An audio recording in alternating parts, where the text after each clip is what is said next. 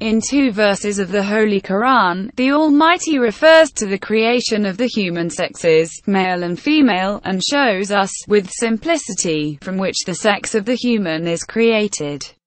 But before we see in detail these two verses of the Holy Quran, we will make a brief presentation of the process of human sex determination, according to science today.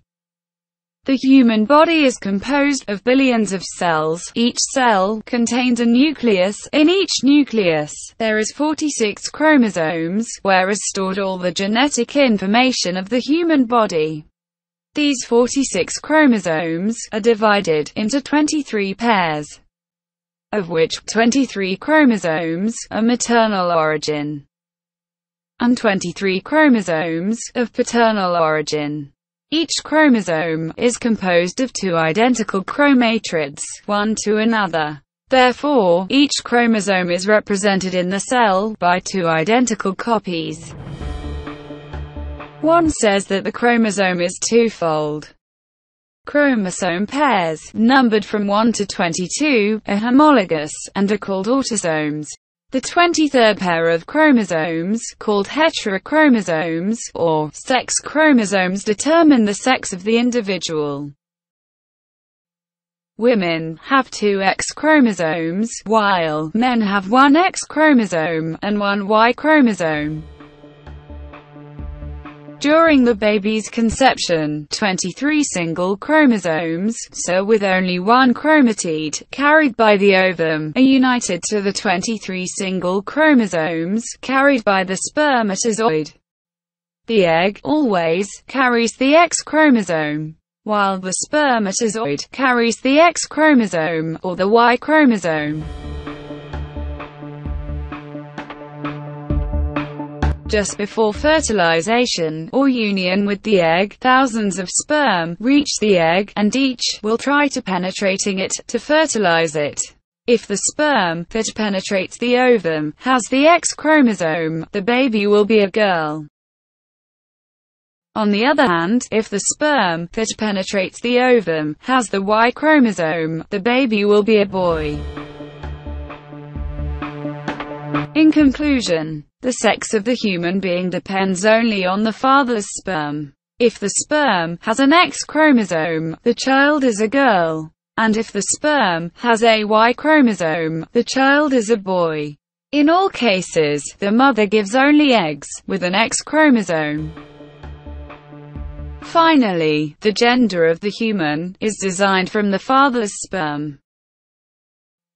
And, what is extraordinary, it is said, twice, with great simplicity, in the Holy Quran, text dating back to the 7th century. This is the first Quranic text which relates from what is designed, the human's gender. This concerns, the verses 45 and 46, of chapter 53, the star and that he created the two spouses, the male and the female, from a sperm drop, when it is poured forth. Thus, according to verse 45, the Lord shows us that he creates the two elements of the pair, the male and the female. It creates the possibility for humans to be a male or a female. Like almost all species on Earth, then in verse 46, he shows us that these two possibilities, male or female, are designed from the male sperm. This is the second text, recounting the creation of the human sex. These are the verses 36 to 40 of chapter 75, the resurrection. Does man presume that he will be left aimless? Was he not a drop of an ejaculated sperm? Then he became a clot, then he created him, and fashioned him, and made from which, the two spouses, the male and the female. Is not he, who doeth so, able to bring the dead to life? We notice in verse 39, that the relative pronoun, ho, means which, referring to a singular masculine noun, and mine ho, means from which. In verses 37 and 38, we have in Arabic, not, fi. Drop, is a feminine noun. Mani, yumna, ejaculated sperm, is a masculine noun. Alika, a clot, is a feminine noun.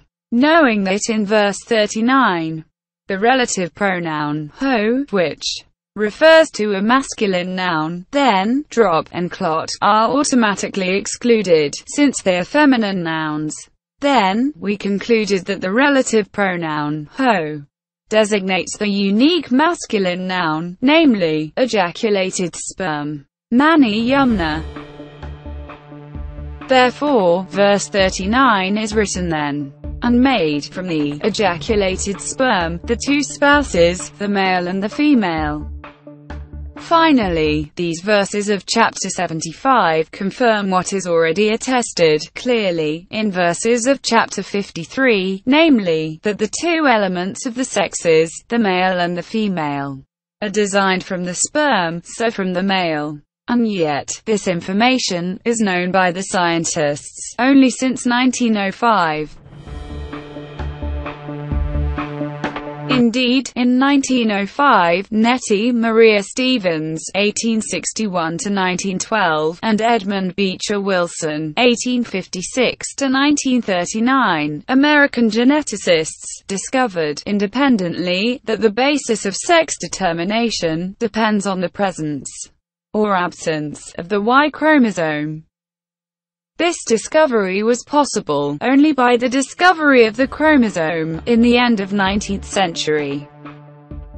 If this truth, which consists to say, that the sex of the individual is conceived from the sperm of the male, is known only from the 20th century, how then to explain his presence in the Holy Quran, dating back from 7th century? This truth is stated very clearly, twice, in chapters 53 and 75. If the Holy Quran is not a divine revelation, from where comes then, this scientific truth, in this text dating back more than 1,400 years?